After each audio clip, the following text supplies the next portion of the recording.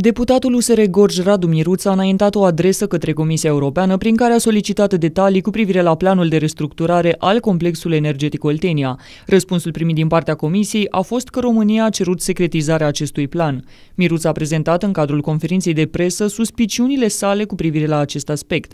De asemenea, având în vedere impactul social major în regiune, deputatul USR a declarat că sunt necesare clarificări cu privire la reducerea numărului de angajați la jumătate din aceștia, cine va pleca acasă, când va pleca, pe ce criteriu, ce se va întâmpla cu cei care nu au vârsta de pensionare. Comisia Europeană a răspuns că la solicitarea părții române, planul de restructurare a cerut să fie secretizat. România a cerut secretizarea planului de restructurare al complexului energetic Oltenia.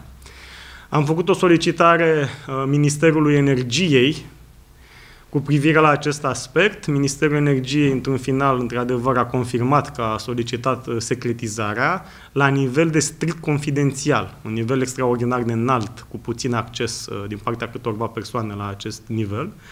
Ei justifică uh, că planul de restructurare conține secrete de afaceri care au un caracter strict confidențial.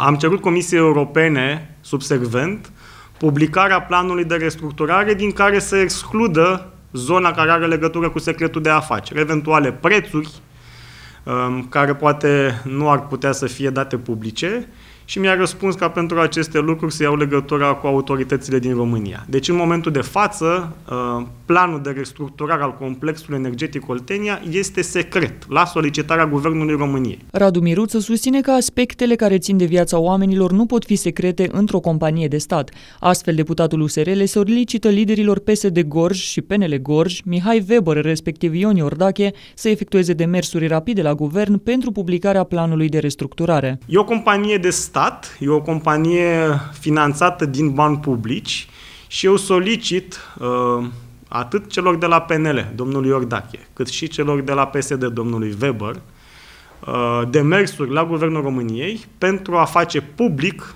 uh, porțiunea din planul de restructurare care nu are legătură cu uh, cifre sau valori care ar putea fi considerate că influențează uh, concurența pe piață. Nu se poate ca uh, să știm că din, 3, din 11.000 de oameni mai rămân 4.500, pentru că asta este ceea ce spun ei, și să nu știm când, pe ce criterii, cine, cum, de ce, în ce condiții. Uh, nu se poate ca un plan de restructurare care afectează major situația din județul Gorj să nu fie cunoscut autorităților și mai ales oamenilor din județul Gorj.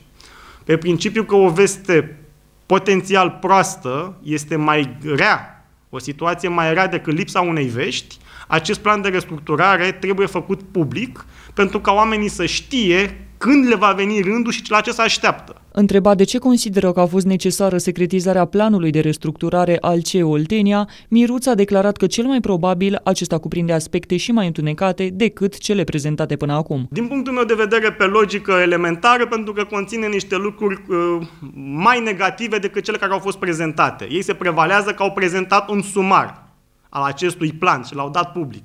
Noi nu știm dacă sumarul ăla este o traducere corectă a informațiilor din planul de restructurare, că nu avem cu ce să verificăm aceste lucruri, sau dacă este doar scos din context ceva ce să spună că au dat publicului.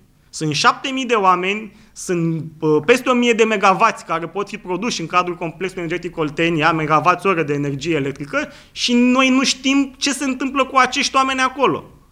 De obicei, ascunzi ceva când ai o veste proastă la, uh, cum ați văzut dumneavoastră, uh, consistența oamenilor politici din județul Gorj, destul de subțire, mulți dintre ei din punctul meu de vedere, s-ar fi lăudat și pe stâlpi cu partea bună, dacă ar fi existat o parte bună în acest plan de restructurare.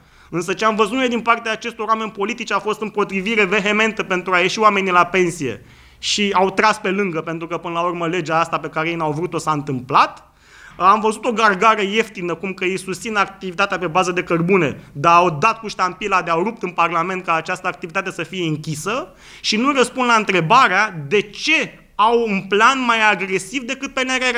PNRR spune că trebuie făcut planul de a se scoate din producție până în 2032.